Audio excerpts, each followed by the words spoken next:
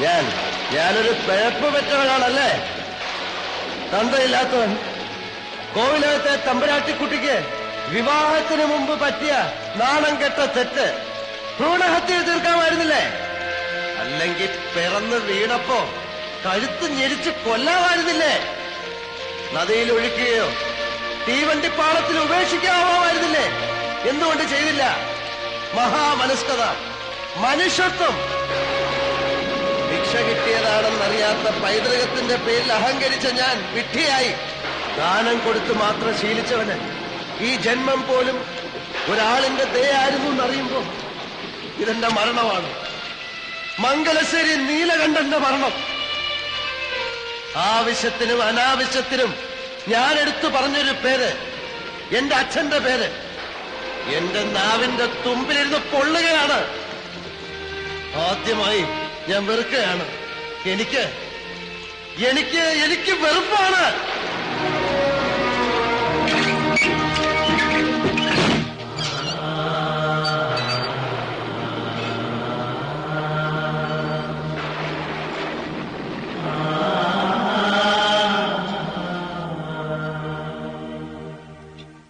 ഇതെന്താ പറ്റിയേ? എന്തെങ്കിലും ഒന്ന് പറഞ്ഞില്ല എന്നെ ഒന്ന് വഴക്ക് പറയെങ്കിലും ചെയ്യ്. ആരാത്? ഓഹോ അതപ്പൊ നന്നായത്. എന്ത് പറ്റി നീല? താൻ ചോദിച്ചതിന് ഉത്തരം പറയും. ആരാത്? ഇതെന്താ എന്റെ നീല? അച്ഛന്റെ പടം നോക്കിയിട്ട് ആരാണ് ചോദിച്ച? അച്ഛൻ. അമ്മ മക്കളോട് ആരെ ചൂണ്ടി അച്ഛനെന്ന് പറയുന്നോ? അവരാണ് മക്കൾക്ക് അച്ഛൻ. അപ്പൊ ആരല്ലെന്ന് പറയുമ്പോ ആരാണെന്ന് പറയാൻ അമ്മയ്ക്ക് കഴിയണം. എനിക്കത് അറിയണം. അറിഞ്ഞേ പറ്റൂ. എന്താ നീല അത്? എന്താ പറയണേന്ന് ഓർമ്മയുണ്ടോ? അതെ വരിതേ ഞാൻ പിഴച്ചു പുറം ലോകത്തിന്റെ മുന്നിൽ എന്റെ അമ്മയുടെ മാനം കാത്ത വലിയ മനുഷ്യനെ കണ്ടില്ലേ? പോവാ. പറഞ്ഞു നിർത്തിയിടത്ത് നിന്ന് ബാക്കി കൂടി കേൾക്കണം. അമ്മയുടെ വായിൽ നിന്ന് അറിയണം ആരാണ്. ദിവ്യഗർഭം സമ്മാനിച്ച മഹാത്മാവ് ആരെന്നറിയണം. ജീവിച്ചിരിപ്പുണ്ടെങ്കിൽ ചെന്ന് കാണണം. അല്ല മരിച്ചു പോയെങ്കിൽ തർപ്പണം നടത്തണം.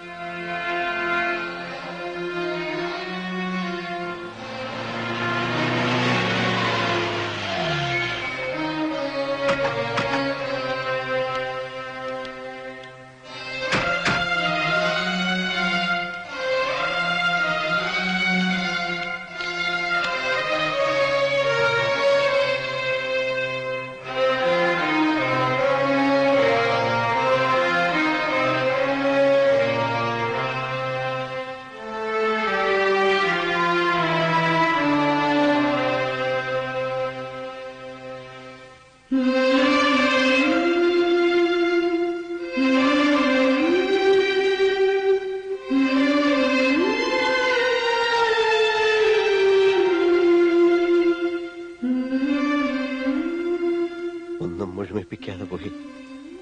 അല്ലേ വരുതേ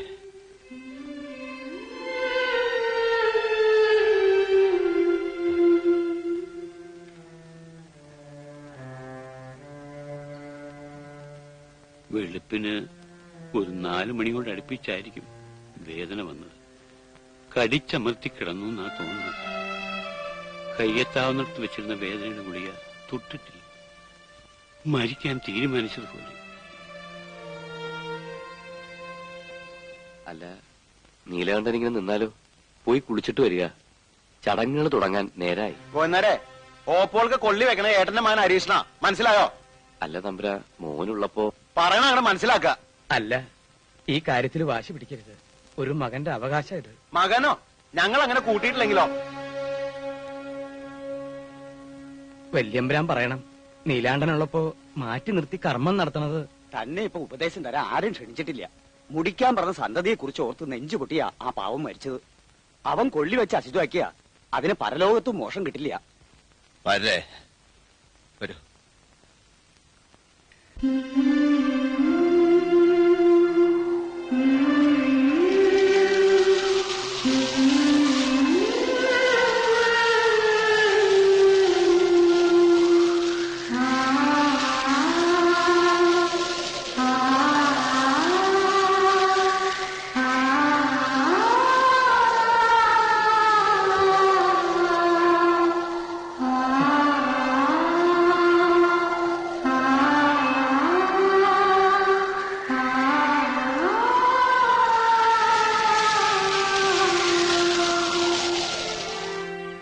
അറിയാനുള്ള അവകാശം കുഞ്ഞിനുണ്ട്.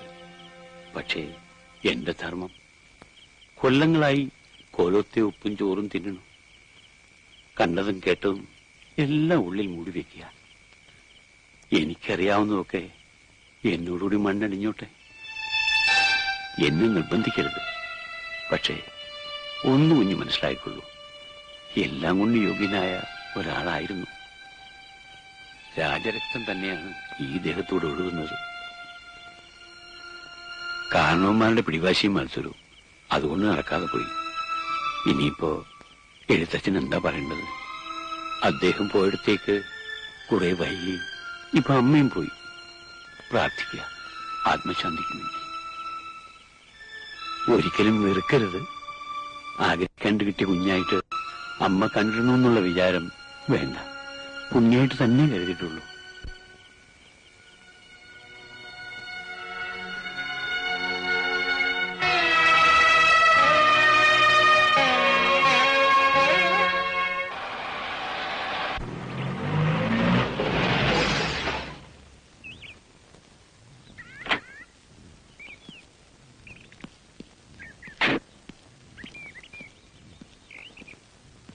ഇതല്ലേ മംഗലശ്ശേരി വീട്? അതെ. ആരാ? ഞാൻ മദ്രാസിൽ നിന്ന് വരിക. എന്ത് വേണം? നിങ്ങളൊന്നും വേണ്ട. അപ്പു മാമയൊന്ന് വിളിക്കൂ. വരേ. ഏ? അയാളാരാ? എനിക്ക് അപ്പു മാമയെ മാമ്പറ്റ അപ്പുക്കുട്ടി നായർ. മൂപ്പരയാണുള്ളത്. ആരാത് ഒരു പിടിയില്ല. അപ്പു മാഷെ കാണാൻ തോന്നുന്നു. എവിടെന്നാ? മദ്രാസ്ന എന്റെ അമ്മയുടെ അണ്ണാത അപ്പു മാഷ് ഓ മരിച്ചുപോയ കുട്ടിമാളുവിന്റെ മോൻ. പണ്ട് മദ്രാസിലേക്ക് നീ നാട് വിട്ട് നാട് വിട്ടതല്ല. നാട്ടിൽ നിന്ന് കുറച്ചുകാലം മാറിയുന്നതാ. നീ അങ്ങ് ചീർത്തല്ലോ. ഞാൻ കാണുന്ന കാലത്ത് നീ കോൽ പോലെ ഇരുന്നതല്ലേ? ചെല്ല് ആ പത്തായപ്പുരയിലാ മാഷ താമസം.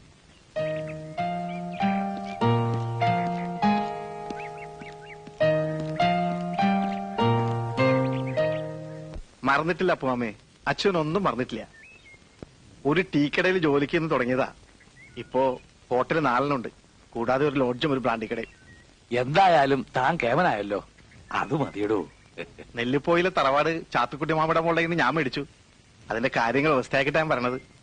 ആ. ഇത് ഭാനു അല്ലേ? പിന്നല്ലാതെ? ശാരദ അങ്ങ് പെരിയ പൊണ്ണാച്ചേ ഭാനുവിന്റെ നൃത്തവും പാട്ടൊക്കെ ഒക്കെ ഉണ്ടോ? പാട്ടില്ല നൃത്തം. അമ്മണി അമ്മായിയുടെ മുറിച്ച മുറി. അപ്പോ നെല്ലിപ്പോയിലെ വീട്ടിൽ താമസമാക്കാൻ പോവാ? എങ്ങനെ പറ്റും? മദ്രാസിൽ ഇക്കൊണ്ട് ബിസിനസ് ഒക്കെ നിർത്തിട്ട് ഞാൻ ഇങ്ങോട്ട് വരികയെ. ബാനു നിൽക്കൂ. ഇനി പറയാൻ പോണ കാര്യങ്ങൾ ബാനു കൂടി കേൾക്കണം. നെല്ലിപ്പോയിലെ വീട്ടിൽ ആരെങ്കിലും താമസിച്ചേ പറ്റൂ. ഞാൻ നോക്കിയിട്ട് ഇപ്പോഴത്തെ കണ്ടീഷനിൽ അപ്പുമാവും കുട്ടികളും കൂടി അങ്ങോട്ട് മാറും. അന്യരുടെ പത്തായപ്പുറയിൽ ഇത് എത്ര നാളെന്ന് വെച്ചിട്ടാ കഴിയാ? ഏ? അപ്പുമാമയ്ക്ക് വെറുതെ ഇരിക്കാണ്ട് അവിടുത്തെ കൃഷിയും കാര്യങ്ങളൊക്കെ നോക്കി നടത്താലോ. എന്തേ?